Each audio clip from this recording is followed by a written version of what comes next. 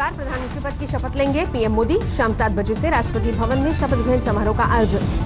BJP से कटुता के बीच पीएम मोदी के शपथ ग्रहण समारोह में शिरकत करेंगी ममता बैनर्जी। आज पहुंचेंगी दिल्ली। कल पूर्व राष्ट्रपति प्रणब मुखर्जी से मिलेंगी ममता बनर्जी। शाम को शपथ ग्रहण में करेंगी शिरकत। 31 मई को होगी कोलकाता वापसी। दिल्ली के सीएम अरविंद केजरीवाल भी पीएम मोदी के शपथ ग्रहण समारोह में करेंगे शिरकत। तैयारी कर रहे हैं। मांग रहे हैं सुशी। विपक्ष के सभी नेता, बड़े नेताओं को प्रधानमंत्री मोदी के शपथ ग्रहण समारोह का दिया गया है आमंत्रण। भव्य होगा नरेंद्र मोदी का शपथ ग्रहण। बिम्स्टेक देशों को भेजा गया है न्योता। श्रीलंका, म्यांमार, थाईलैंड, नेपाल और भूटान के प्रमुख मोदी के शपथ ग्रहण समारोह में होंगे शामिल। बांग्लादेश को भी पीएम मोदी ने दिया है शपथ ग्रहण समारोह का न्योता, लेकिन व्यस्तता की वजह से पीएम शेख हसीना नहीं करेंगी शिरकत, भेजेंगी अपना प्रतिनिधि। नहीं, कम, काम आई। पाकिस्तान के पीएम इमरान खान की चाल फ़ोन पर पीएम मोदी को दी थी जीत की बधाई, लेकिन मोदी ने पाकिस्तान को नहीं दिया न्योता। पश्चिम बंगाल पर चुकी बीजेपी की नज़र, चुनावी हिंसा में मारे गए बीजेपी कार्यकर्ताओं के परिजनों को पीएम मोदी के शपथ समारोह का दिया गया न्योता। पश्चिम बंगाल से न्योता पाने वाले चौवन बीजेपी कार्यकर्ताओं की आज तक के पास से सूची शपथ ग्रहण समारोह में इन सभी के बैठने का होगा खास इंतज़ाम। सूत्रों के मुताबिक 31 मई को कैबिनेट की पहली बैठक संसद सत्र की तारीखों पर होगा फैसला। शपथ ग्रहण समारोह से पहले मंत्रिमंडल को लेकर माथापच्ची प्रधानमंत्री आवास में नरेंद्र मोदी सहित मिले अमित शाह।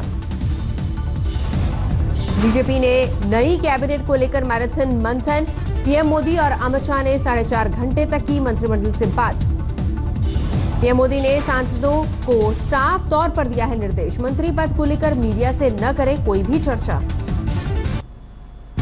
मोदी कैबिनेट में कितने अनुभवी और कितने युवा चेहरे होंगे शामिल? सूत्रों के मुताबिक आज साफ़ हो जाएगी ये तस्वीर। बोधगया पहुँचे संघ प्रचारक इंद्रेश कुमार का विवादित बयान। आसुद्दीन ओवैसी पर बोले, वो भारतीय कम, मुसलमान ज़्यादा है। दिया है। कि वो हिंदुस्तानी, भारतीय और इंडियन कम है, मुसलमान ज़्यादा है। संघ प्रचारक इंद्रेश कुमार ने यहाँ तक कहा, ओवैसी सौम्य नहीं, कट्टर और नफरत फैलाने वाले मुसलमान हैं, जो साबित करते हैं मुसलमान गाय काटता है और दंगे कराता है। राम मंदिर निर्माण पर बोले इंद्रेश कुमार, जिस तरह काबा, वेटिकन सिटी स्वर्ण मंदिर और बोध गया उसी तरह होना चाहिए। इस्तीफे पर अड़े हैं राहुल गांधी, लेकिन सूत्रों के मुताबिक अगला अध्यक्ष चुने जाने तक पद पर बने रहने को तैयार सूत्रों के मुताबिक एक महीने का दिया वक्त। राहुल ने पार्टी को दी तीन चार महीने की मोहलत। सूत्रों के मुताबिक गांधी परिवार से बाहर का अध्यक्ष ढूँढने की दी है नसीहत। दिन भर जारी रहा राहुल को मनाने का सिलसिला। प्रियंका समेत पार्टी के दिग्गज नेताओं ने की मुलाकात। सूत्रों के मुताबिक लोकसभा में नेता विपक्ष की भूमिका निभाने को तैयार है राहुल गांधी, लेकिन अध्यक्ष पद छोड़ने का बना चुके हैं मन। कांग्रेस पार्टी के आला नेताओं ने राहुल गांधी से की पद पर बने रहने की गुजारिश, बोले इस्तीफा देने का नहीं, लेने का वक्त है। राहुल के इस्तीफे की खबर से विपक्षी खेमे में हड़कंप। डीएमके ने कांग्रेस अध्यक्ष से की पद पर बने रहने की अपील। लालू प्रसाद यादव ने राहुल गांधी के इस्तीफे को बताया, आत्मघाती, बोले, एकजुट होने में नाकाम रही है विपक्षी पार्टी। राहुल गांधी से मिले राजस्थान के मुख्यमंत्री अशोक गहलोत और डिप्टी सीएम सचिन पायलट कल सूबे में होगी पार्टी कार्यकारिणी की बैठक। जयपुर से कांग्रेस के उम्मीदवार ने राहुल को लिखी थी चिट्ठी, कहा, पार्टी में अंतर कलह की वजह से मिली हार। बीजेपी में शामिल हो सकते हैं ओबीसी नेता अल्पेश ठाकुर, कांग्रेस पर जमकर साधा निशाना। पश्चिम बंगाल में शानदार प्रदर्शन के बाद बीजेपी ने दीदी के कुनबे में लगाई सेंध टीएमसी के तीन विधायक बीजेपी में शामिल। लोकसभा चुनावों के नतीजों के बाद टीएमसी में मची भगदड़, बीजेपी में शामिल हुए पैंसठ से ज़्यादा पार्षद। बीजेपी के मुताबिक एक जून तक कुछ और टीएमसी विधायक बीजेपी में हो सकते हैं शामिल। सूत्रों के मुताबिक छह टीएमसी विधायक छोड़ सकते हैं ममता का साथ। टीएमसी पर बीजेपी की पैनी नज़र, कहा, सात फ़ेज़ में चुनाव की तरह सात फ़ेज़ में पार्टी में शामिल होंगे नेता। फडणवीस सरकार के मंत्री से मिले महाराष्ट्र कांग्रेस के नेता राधाकृष्ण विखे पाटिल बीजेपी में शामिल होने के कयास तेज। कर्नाटक में आज विधायक दल की बैठक, सरकार बचाने के लिए मंत्रिमंडल में बदलाव पर विचार करेंगे सीएम कुमारस्वामी। कांग्रेस नेता गुलाम नबी आज़ाद और वेणुगोपाल बेंगलुरु पहुँचे। सिद्धारामैया समेत अन्य समन्वय समिति के लोगों के साथ करेंगे बैठक। मंत्री पद से हटाए जाने वाले नामों पर भी होगी चर्चा। गुलाम नबी संघ बैठक से पहले सिद्धारमैया और गुंडूराव ने सीएम कुमारस्वामी से की मुलाकात। जयपुर में आज राजस्थान सरकार एक बजे करेगी लोकसभा चुनाव में मिली हार की समीक्षा, सीएम गहलोत और डेप्यूटी सीएम सचिन पायलट रहेंगे मौजूद। जयपुर में होने वाली बैठक में कांग्रेस, बीजेपी से जुड़ने की मंशा रखने वाले कुछ नेताओं पर भी करेगी विमर्श। बैठक में जयपुर से चुनाव लड़ने वाली कांग्रेस की उम्मीदवार ज्योति खंडेलवाल भी रहेंगी मौजूद। हार पर लगाए आरोपों को लेकर है तनाव। ज्योति ने पार्टी कार्यकर्ताओं पर लगाया था चुनाव में मदद नहीं करने का आरोप। राहुल गांधी को लिखा था शिकायती पत्र। कश्मीर के किसी संसदीय क्षेत्र में पहली बार बीजेपी ने ली बढ़त। इस बार लोकसभा चुनाव में त्राल में बीजेपी को 323 नेशनल कॉन्फ्रेंस को दो पीडीपी को 220 वोट मिले, कांग्रेस को मिले एक सौ चौवालीस वोट। जाकिर मूसा और बुरहान वानी जैसे आतंकियों का गढ़ है त्राल। यहाँ से बीजेपी की लीड के निकाले जा रहे हैं खास मायने। त्राल में नतीजे से उत्साहित है बीजेपी। उसे उम्मीद विधानसभा चुनाव में त्राल में खिल सकता है कमल। संघ की आर्थिक शाखा स्वदेशी जागरण मंच ने बढ़ाई पीएम मोदी और अकाली दल की मुश्किल। अकाली दल और पूर्व मंत्री हरसिमरत कौर का जोड़ा वॉलमार्ट कनेक्शन। स्वदेशी जागरण मंच ने किया ट्वीट। वॉलमार्ट और हरसिमरत के संबंधों की हो जाँच। आरोपों के मुताबिक खाद्य प्रसंस्करण मंत्री रहते हरसिमरत बादल ने भारत में रुचेल में वॉलमार्ट के लिए दरवाजे खोले।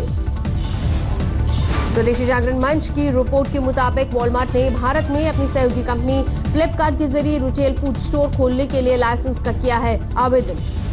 2016 में मोदी सरकार ने खाद्य प्रसंस्करण क्षेत्र को बढ़ावा देने के लिए खाद्य उत्पादों के कारोबार में 100 फ़ीसदी एफडीआई की अनुमति दी थी। कुलगाम के ताजीपोरा में आतंकियों से सुरक्षा बलों की मुठभेड़ को खुफिया सूचना के मुताबिक आतंकियों की हुई घेराबंदी, एक आतंकी ढेर अनंतनाग में भी सुरक्षा बल के आतंकियों से मुठभेड़, जंगल में छिपे आतंकियों की मिली सूचना। मुंबई में डॉक्टर पायल तडवी को आत्महत्या के लिए मजबूर करने के मामले में एक और डॉक्टर गिरफ़्तार, अब तक दो डॉक्टरों की हो चुकी गिरफ्तारी, तीसरा आरोपी अभी भी फरार।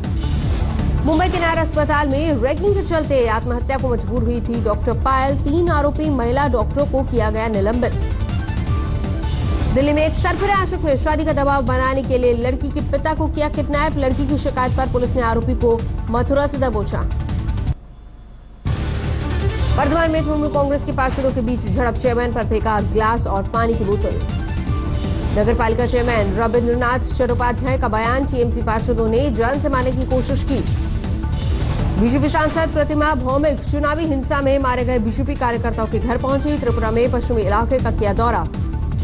त्रिपुरा के सीएम विप्लव देव का बयान, चुनावी हिंसा बीजेपी संस्कृति नहीं। हिंसा को लेफ़्ट शासन और हैंगओवर हैंगओवर का नतीजा बताया, पश्चिम बंगाल का दिया उदाहरण। नोएडा पुलिस ने पत्नी की पिटाई के आरोप में बुज़ुर्ग को किया गिरफ़्तार। सीसीटीवी में कैद हुई पिटाई की तस्वीरें। पत्नी के मुताबिक, काला जादू सीख रहा था, शख्स विरोध करने पर करता था पिटाई, बेटे ने की थी पिता की शिकायत। गाजीपुर में कोचिंग से घर लौट रहे छात्र की हत्या साथ ही छात्र फरार।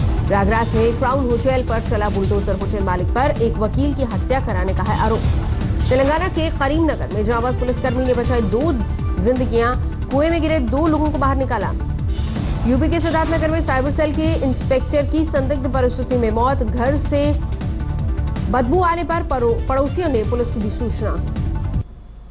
लखनऊ में एक पेट्रोल पंप कर्मी और एक शख्स को मारी गई गोली, आरोपी फरार। छत्तीसगढ़ के महासमुंद में हाथियों के उत्पाद को रोकने की कोशिश जारी। वन विभाग ने लाइट लगाने के साथ तार बिछाकर दौड़ाया हल्का करण गुरुग्राम में कारोबारी की हत्या। अपराधियों ने मारी गोलियाँ। उधम सिंह नगर के बाजपुर में किसी ने दो बाइक में लगाई आग, जलकर हुई खाक। चमोली में भी जल रहा है जंगल, कर्णप्रयाग से जोशीमठ तक आसमान में धुआँ ही धुआँ। हिमाचल प्रदेश के बसंतपुर में सेना के चलते ट्रक में लगी आग, फ़ौरन आग पर काबू पाया गया। रामपुर से शिमला जा रहा था जवान। औरंगाबाद में दवा से भरे ट्रक में लगी आग, ड्राइवर झुलसा, लाखों का नुकसान।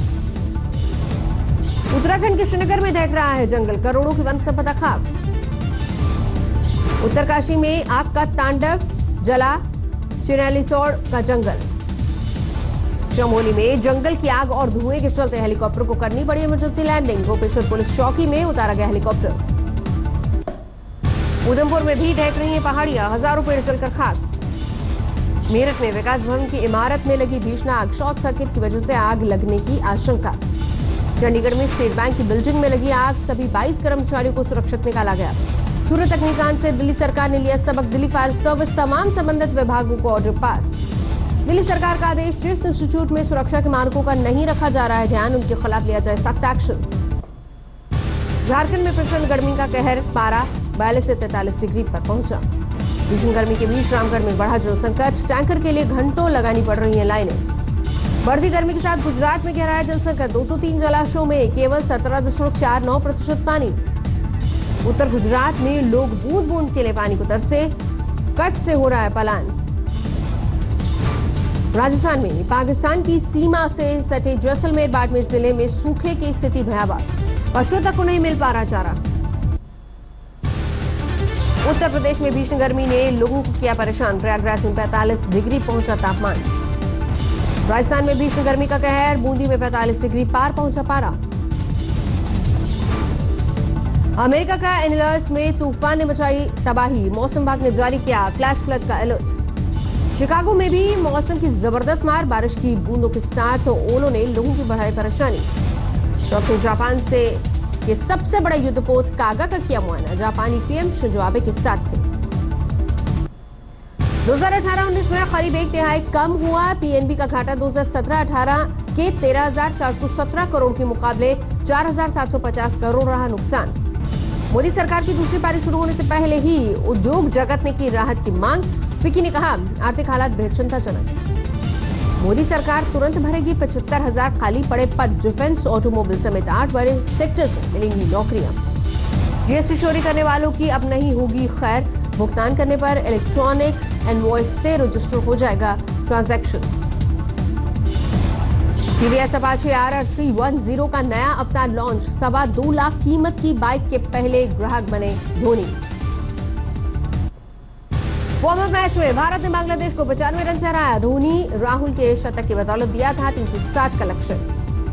अर्धशतक से चूके कप्तान विराट कोहली छियालीस गेंदों पर सैंतालीस रन बनाकर लौटे पेविलियन। बांग्लादेश के खिलाफ भी खुली भारतीय ओपनिंग की पोल। शिखर धवन एक और रोहित 19 रन बनाकर आउट वेस्टइंडीज ने न्यूजीलैंड को इक्यानवे रनों से हराया।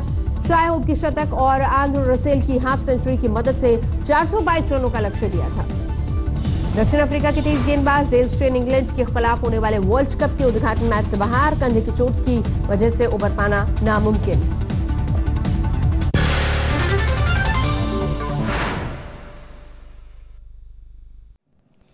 लेटेस्ट खबरों के लिए यू ही देखते रहिए आज तक। और इस वीडियो के पसंद आने पर लाइक शेयर एंड सब्सक्राइब करना ना भूलें।